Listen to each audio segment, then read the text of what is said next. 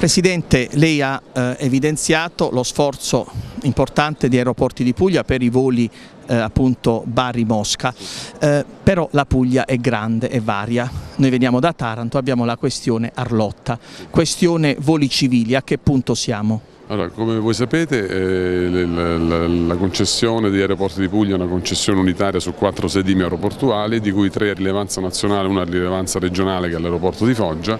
I due aeroporti civili commerciali sono quelli che conosciamo tutti, Brindisi e Bari. Sull'Arlotta di Grottaglie Taranto c'è un discorso molto importante avente valenza industriale e proprio di una settimana fa neanche la notizia che eh, l'aeroporto eh, lo, o meglio lo spazio porto dovremmo dire di Arlotta Grottaglie è stato scelto come il sedime naturale per fare questi eh, voli suborbitali che andranno in onda nel, tra poco. Benvenga questo sviluppo tecnologico, futuristico però per rilanciare il turismo i voli civili all'Arlotta servono come il pane, d'altronde abbiamo una struttura che viceversa dal punto di vista turistico sarebbe così sprecata e sappiamo tutti le grosse difficoltà che a Taranto il turismo sarebbe l'ossigeno vitale.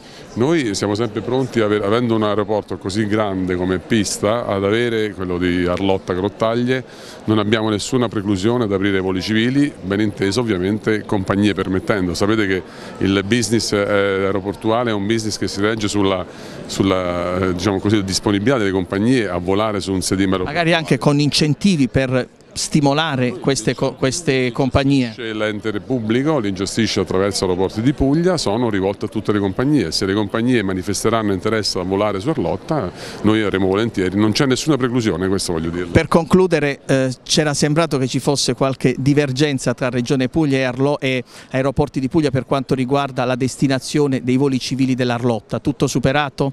No, non c'è stata mai nessuna, anzi abbiamo fatto anche un tavolo di lavoro importante tra Regione, Aeroporti aeroporti e anche gli enti locali preposti per far sì che tutti gli enti, le persone che gravitano su questo territorio partecipano attivamente al processo di sviluppo di un aeroporto così importante. Una curiosità così, quando ehm, sono stati realizzati i lavori di adeguamento della pista all'aeroporto di Bari eh, si è chiuso lo scalo barese e si è riversato tutto su Brindisi. Domanda, non si poteva sfruttare l'Arlotta di Grottaglie? Eh, allora, in, teoricamente si può sfruttare tutto, però de deve capire che questa è una decisione che non spetta all'infrastruttura, spetta ai vettori. I vettori c'è una conferenza di servizi, chiamiamola così, una una conferenza che viene fatta a livello di vettori che decidono, tant'è vero che non tutti i voli sono andati a finire sul, su Brindisi, solo una piccola parte e peraltro abbiamo ampiamente recuperato già con il mese di aprile il calo di traffico naturale che c'è stato.